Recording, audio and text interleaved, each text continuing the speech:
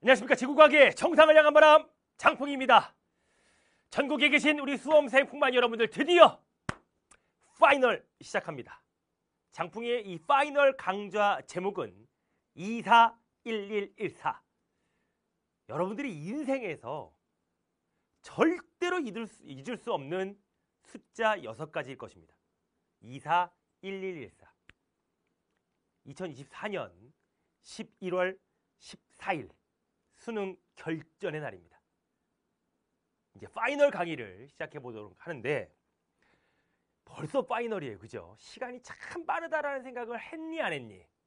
그러니까 우리 풍만이들이 그 지구과학원 지존력을 시작하면서부터 열심히 달려와 주셨습니다. 기출문제 지구력도 풀었고 지속력, 지혜력 그리고 지휘력까지 여러분들이 지금까지 달려왔던 이 시간, 노력했던 이 시간이 헛되지 않도록 우리 딱 한 달입니다. 정말 한 달 동안에 여러분들은 역전할 수 있습니다. 우리 풍만이들 안 된다라고 생각하면 안 돼요. 나는 할 수 있다. 나는 무조건 해내고야 만다. 라는 생각으로 자신의 행동이 바뀔 것이고 여러분들은 한 달 동안 기적을 만들어낼 것입니다. 자, 그렇다면 이 한 달 동안의 기적을 어떻게 만들어낼 것이냐? 자, 파이널 강의에서는요. 장풍이가 잠깐 소개를 해보면 교안은 다운받습니다. 어, 교안은 다운받고 핵심 개념이 정리되어 있습니다. 그리고 그 파이널 체크라고 해서 여러분들이 이것은 꼭 알고 가야 된다라는 것. 그리고 올해 작년 필수 기출 문제를 가지고 우리는 한번 요령을 파악해 볼 것입니다. 그래서 수능 당일 우리는 아주 라이브한 이 개념과 기출 문제 유형 분석으로 우리는 수능 날 바로 적용을 해볼 것입니다. 그렇다면 굉장히 강의가 컴팩트하게 6강으로 짧습니다. 이 6강으로 장풍이가 구분한 기준이 무엇이냐면 6월, 9월 작년뿐만 아니라 올해 6월, 9월 모평에서 가장 오답률이 높았던 그 문제들에 대한 기본 개념으로 6강을 구성해 보았습니다. 여러분들이 들으면 굉장히 소름 돋는 그러한 단어 내용 고지자기 복강 나오지요. 절대연령과 상대연령 요즘 절대연령에 대한 문제가 얘들아 그냥 옛날처럼 아주 그냥 심플하게 2분의 1, 4분의 1, 8분의 1 이렇게 안 나와. 그렇죠. 여러분들이 6월 모평과 9월 모평을 어, 우리가 이뤄봤듯이 치러봤듯이 굉장히 까다롭게 문제가 나옵니다. 그리고 지구 외적 요인, 지구 자전축의 경사 방향이라던가 경사각, 이심률에 따라서 태양과 지구 사이의 거리, 태양에서 방출하는 에너지의 양, 받는 에너지의 양 이런 등등의 다양한 요소들 그리고 틀리기 쉽고 실수하기 쉬운 요소들을 다시 한번 점검해 보도록 하겠습니다. 별의 물리량과 진화 여러분들이 뭐 가장 사랑하는 거지요. 계산 문제 외계행성계 탐사와 허블 법칙 그렇습니다. 이런 허블 법칙도 여러분들이 어떻게 하면 빠르게 계산을 할 것인가 어떻게 빨리 추론해낼 것인가 이런 것에 대한 요령을 이번 시간에 아예 파이널로 잡아가자라는 것입니다. 그리고 맨 마지막 우주 팽창 이건 얘들아 뭐 어려운 내용은 아니지만 여러분들이 한 번씩은 꼭 확인을 하고 무조건 출제가 되는 이 여섯 개의 단원에 대한 내용 그리고 여러분들 오답률이 가장 많았고 여러분들이 굉장히 어려워하는 이 여섯 개의 개념 그 여섯 개의 개념을 한번 잡아보자. 그래서 six sense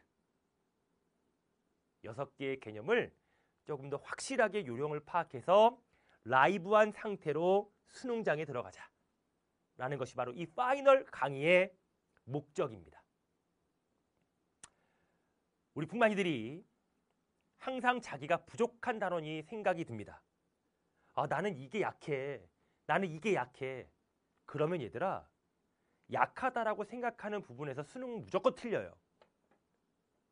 약하다는 생각을 아예 들지 않도록 어 나는 이걸 한번 정리하고 갔으니까 나는 약하지 않아 라는 자신감으로 바뀔 수 있도록 우리 짧고 임팩트 있게 하지만 굉장히 강한 그러한 내용으로 구성을 한번 해보았습니다.